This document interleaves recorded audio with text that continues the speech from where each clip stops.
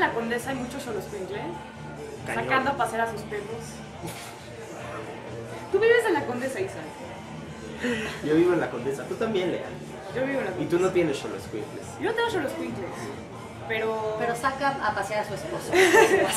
No, ¿Has pero- visto que el mejor amigo del hombre es el perro? Yo creo que es al revés. El mejor amigo del perro es el hombre. Nadie le, te levantaría las cacas. No, nadie te, nadie te daría de comer tan puntual como el dueño de su Puntual. perro. No manches. Sí, mamá, No estoy Un perro Oye, yo soy la única ¿Qué perro que no- serías? Esponjoso. Espo- Yo, Tú seas un chihuahua. yo sería así uno de esos que están súper nerviosos Uno todo el chiquito. tiempo. Un, un, un yorkie. ¿Sabes qué está muy mal de los perros de la condesa? Los adoptados.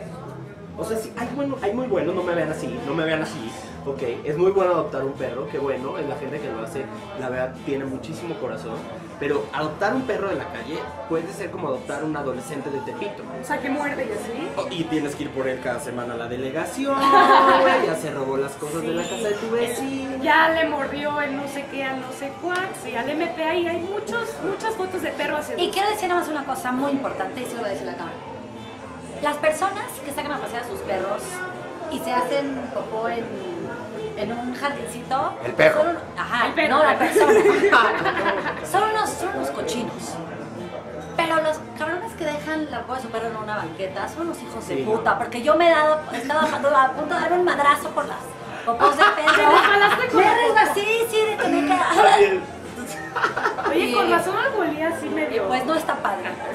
No está Pisar padre. caca es horrible. Pisar caca es el peor Y aparte juro que yo, voy- resbalas. yo siempre voy caminando como viendo así, soy como que tengo un detector. Y, mi, y, y una, y mi amiga me dice, Sara, ¿te ha pasado más veces Tienes que el pudar. Ten- no El puedo. pudar. Mi mamá No, le hace, de es de buena suerte, échale. ¡No! ¡Ah! ¿Tú tienes perros, Ari? Ya, ahí está buenísimo, ahí quedó. Ahí, está. Oye, Sara, no, pero, o sea, no, no Pero por nada, pero ¿para cuándo ¿sí te vas a casar? Pues puede que no. Pues, Puede que no me case y defraude a toda mi familia, pero... Y la comunidad. Sí, sí, sí, los únicos, de hecho ellos son los únicos que van a estar tristes. Güey, es que si, si la meta en la vida de, de, de la comunidad es como casarse, Pero no es para todos, ¿eh? yo no la he logrado. No es para todos, es serio el matrimonio. El matrimonio es como, Me imagino, ¿cómo, saben ustedes que, ya se casaron? ¿Cómo es el matrimonio? es como, como cuando entras a la universidad. ¿A la universidad? ¿Por? O sea, no sé, el primer semestre llegas y escoges tu verano, te compras una laptop, tienes amigos nuevos, buena onda, sí. Dos años después solo quieres irte de intercambio seis meses. Digo, pagas colegiatura y todo. Pero quieres ya irte seis meses a Madrid. Seis meses a Madrid. Tantito, tantito. ¿Sabes qué? También es como ser un niño otra vez. Porque te regañan por todo lo que haces. No puedes hablar con extraños. No puedes salir sin permiso. ¿Tú cómo sabes eso? Estoy casada. Ah, pero entonces a ti te lo hacen. ¿sí? Sí.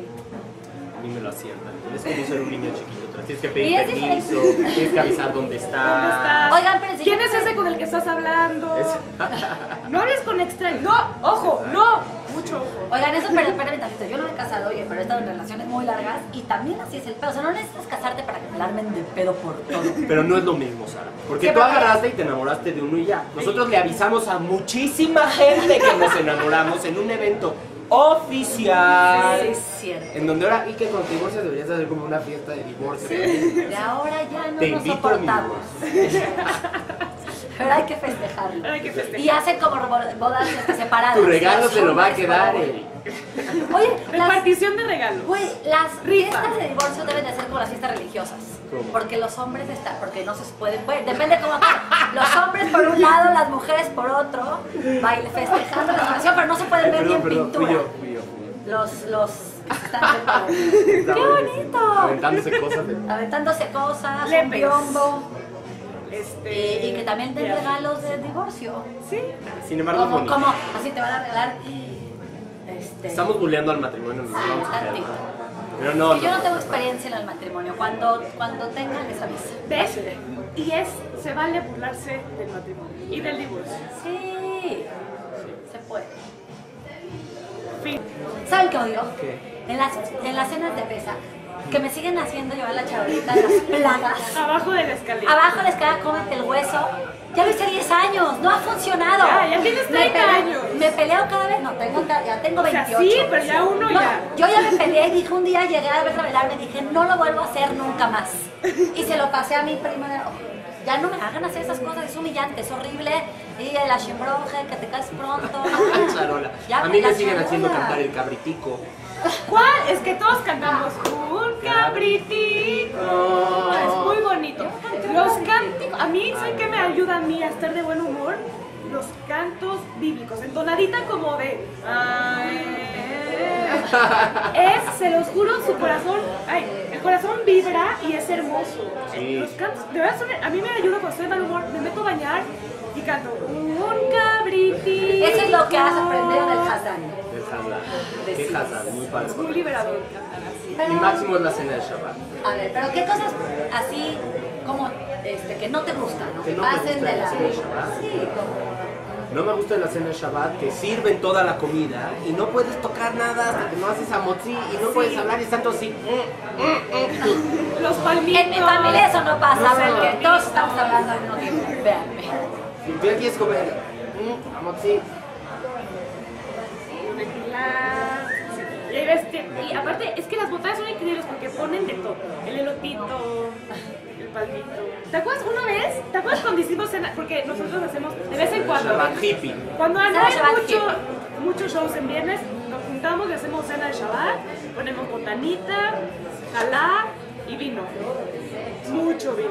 Mira, te voy a decir que también no me gusta nada. Yo como, yo como, en las bodas, en las bodas el ramo, que en las bodas eh, normales no me lo avientan. En las bodas judías se sube una, la novia a la, A la silla y con el micrófono te humilla. Yo, yo siempre me huyo del pin, del pin ramo. Y entonces estoy abajo del plato de los chilaquiles así de- y se sube. Quiero llamar a mi Abajo de la prima, escalera con la charola. Sara Nakach, que no se ha casado nunca. Y ojalá, tú tienes que, ya, ya dijiste, ya no quiero, no quiero ir al ramo, no quiero ir a la viborita. Te pasan en el micrófono a ir por el ramo. A mí me Sí, molestan que mucho. eso. A mí me molestan mucho los temblores. Ah, pero no tiene nada que ver.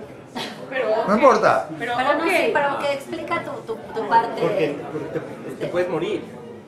O sea, hay algo ahí horrible que te dice, igual y al ratito ya no estás aquí. Está horrible, pero te lo hace ser presente. Debería haber una explicación.